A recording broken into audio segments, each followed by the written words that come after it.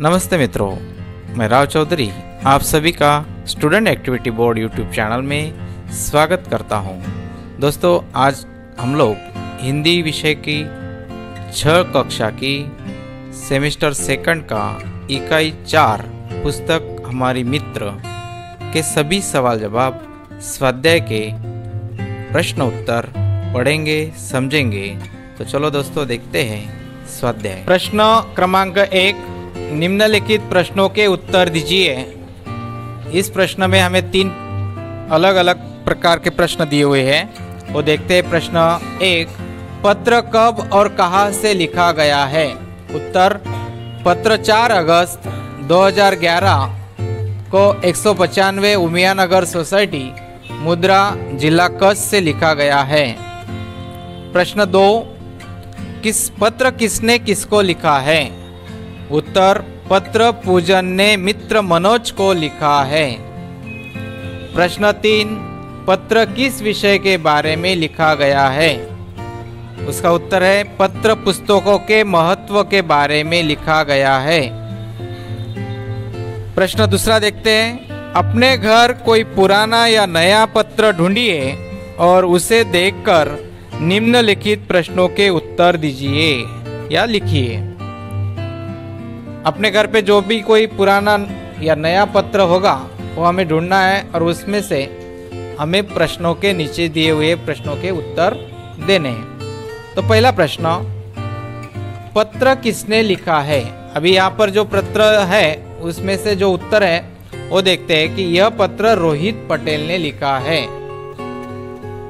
आपका अलग हो सकता है कि जो भी पत्र आपके पास पुराना पड़ा होगा वहाँ से हम लोग ये आप लोग उत्तर लिख सकते हो। दूसरा प्रश्न है, पत्र क्यों लिखा गया है? अभी इस पत्र में संदर्भ क्या है? वो संदर्भ हमें देना है। उत्तर, पत्र स्वस्थ रहने के उपाय बताने के लिए लिखा गया है। प्रश्न तीन, पत्र कौन से दिनांक को लिखा गया है? यह पत्र जो है लिखा हुआ वो 13 अगस्त को है। तो 13 अगस्त 2008 को लिखा गया है। ये उसका जवाब आएगा। उसके बाद तीसरा प्रश्न है। प्रश्न क्रमांक तीन, पत्र भेजने के लिए आम तौर पर पोस्ट कार्ड अंतर्देशीय पत्र या लिफाफा इस्तेमाल किया जाता है। डाकघर जाकर इनके मूल्य का पता कीजिए। यह भी पता कीजिए कि इनमें क्या अंतर होता है। सर्वसाधारण तीन प्रकार के हमें पत्र देखने को मिलते हैं। एक तो पोस्ट कार्ड होता है और सिंपल कार्ड होता है। दूसरा अंतर्देशीय पत्र होता है और तीसरा लिफाफा के स्वरूप में हमें चिट्ठी डालकर पत्र भेज सकते हैं। तो इनके मूल्य अलग अलग है। पोस्ट कार्ड, अंतर्देशीय कार्ड या पत्र और लिफाफा। इनकी जो मूल्य है, कीमत है, वो अलग अलग है तो हमें डाकघर पे जाके उनका पता लगाना है। तो देखते हैं, और इनमें अंतर क्या है, वो भी देखते हैं। पहला है पोस्ट कार्ड पोस्ट कार्ड खुला होता है, इसमें लिखने के लिए अधिक जगह नहीं होती, और इसका मूल्य पचास पैसे है। अभी शायद उसकी कीमत बढ़ गई होगी। मूल्य एक रुपया हुआ होगा। ठीक है? दूसरा प्रश्न है, दूसरा कार्ड है या पत्र है, अंतर्देशीय पत्र। इसे लिखने के बाद तीन ओर से मोड़कर बंद किया जाता है। या कर सकते हैं। इसका उपयोग केवल अपने देश में ही हो सकता है। इसीलिए इसको अंतर्देशीय पत्र कहा जाता है कि अपने देश के अंदर ही इसको भेज सकते दूसरे देश के लिए हम लोग भेज नहीं सकते। और इसका मूल्य दो रुपया पचास पैसे है। तीसरा, लिफाफा। अभी तीस, लिफाफा अलग कागज़ पर पत्र लिखकर और उसे मोड़कर लिफाफे में रखा जाता है। इसमें पत्र सुरक्षित रहता है। लिफाफे के, लिफाफे पर पत्र के अलावा प्राय बहनें अपने दूर रहने वाले भाइयों को राखी भेजती है। मतलब लिफाफे का उपयोग पत्र के साथ साथ अलग अलग चीज़ भेजने के लिए भी हम लोग करते हैं। इसका मूल्य पाँच रुपये है। इसका मूल्य हमें पाँच रुपये देना होगा। चौथा प्रश्न देखते हैं। प्रश्न क्रमांक चार, अपने आसपास की किसी भी घटना का वर्णन करते हुए अपने मित्र को पत्र लिखिए। जैसे नदी की, जैसे कि नदी में बाढ़ आना यह एक उदाहरण तौर पर है। परंतु अपने आसपास की जो भी घटना घटती है, उसका हमें पत्र के नमूने के अनुसार पत्र लिखना है। यहाँ पर एक पत्र नमूना के स्वरूप में दिया हुआ है। देखिए 208 पहले पता लिखना है।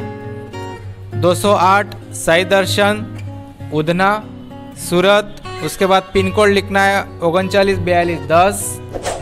उसके नीचे तारीख लिखनी है 19 दिसंबर 2022 प्रिय मित्र धनंजय, सप्रेम नमस्ते। तुम्हारा पत्र मिला। तुम्हारी बहन की बीमारी की बात जानकर दुख हुआ। उसे खाने पीने में सावधानी रखनी चाहिए। मुझे विश्वास है कि वह जल्दी ही अच्छी हो जाएगी। कल रात हमारे मोहल्ले में शॉर्ट सर्किट के कारण एक मकान में आग लग गई। शुरू में किसी को कुछ पता न चला। घर के लोग सोए हुए थे। अचानक धुआँ उठने लगा और बदबू आने लगी तो लोग जाग गए। कुछ ही देर में काफ़ी लोग वहाँ जमा हो गए। मैं भी वहाँ पहुँच गया। यह तो अच्छा हुआ कि फायर ब्रिगेड की गाड़ी जल्दी आ गई और कुछ ही देर में आग बुझ गई। मामूली नुकसान के सिवा कोई भी बड़ी हानि नहीं हुई। सचमुच, ऐसी घटनाएँ बड़ी दुर्भाग्यपूर्ण होती है। बाकी सब कुशल है। तुम्हारे माता पिता को मेरा प्रणाम। तुम्हारा मित्र राजेश। इस प्रकार यह हमें पत्र लिखना है। इस प्रकार हमें यह पत्र लिखना है। ओके? दोस्तों, इकाई नंबर एक।